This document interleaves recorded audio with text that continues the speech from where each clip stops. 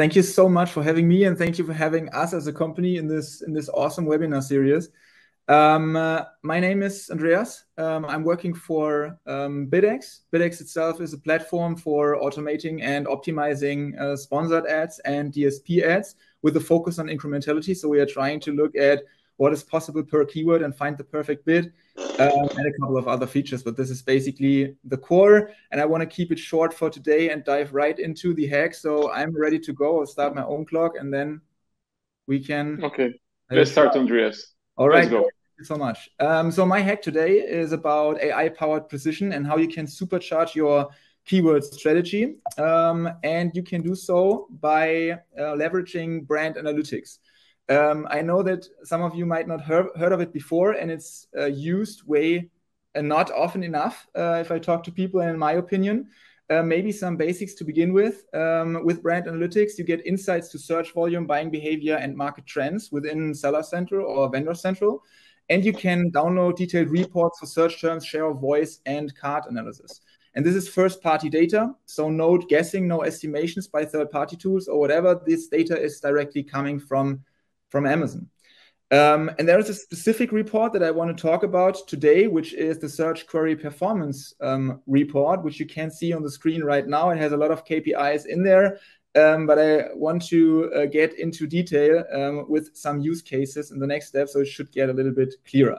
The two use cases that I have brought with me today are first, market benchmarking, um, and second, how to use the data to set negative keywords to increase the overall um, efficiency in the advertising account. Um, and let's start with the first one very quick uh, with the market benchmarking. Um, you can use the report to identify search terms where the CTR and or the conversion rates are increasing for the market, but not for you as a brand or for this specific product. Um, here's a step-by-step guide on how to do it. First of all, obtaining the data. Of course, this is very important. So there is a possibility to download the reports for a specific product, for the brand, and for a time frame um, within Brand Analytics. Then you can prepare the data with Google Sheets or Excel um, to kind of have the data like it is shown in uh, in the third point um, to identify the search terms where the market is developing in another di direction than your brand or your product is doing.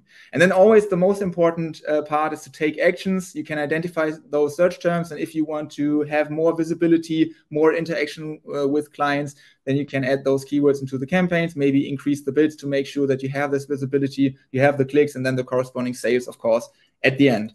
And there is a specific tip at, uh, here. Um, it is a plugin or a Chrome extension. So shout out to the guys that have developed this. It's called Seller Central Utilities.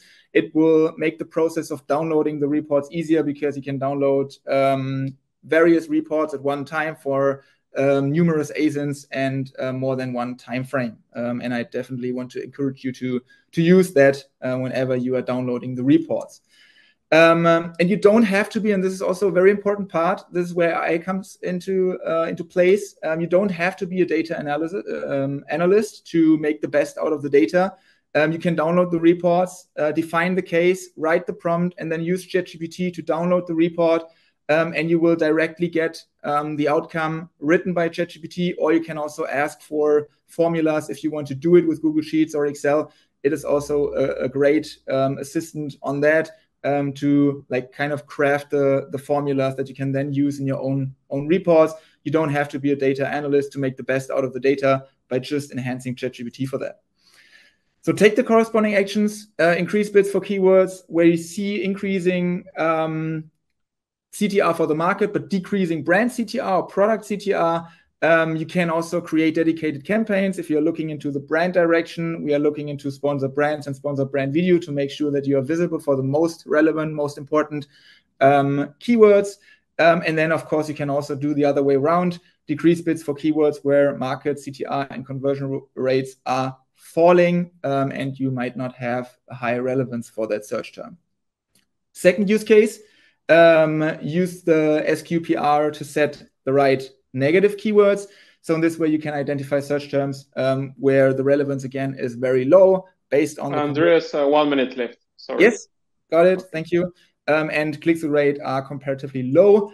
Um, and here again, a step-by-step guide on obtaining the data. Again, please use the Chrome extension then prepare the data, identifying the search terms. And here you see some examples where conversion rates and CTR are very low. This means you don't have necessarily have the highest relevance for that keywords.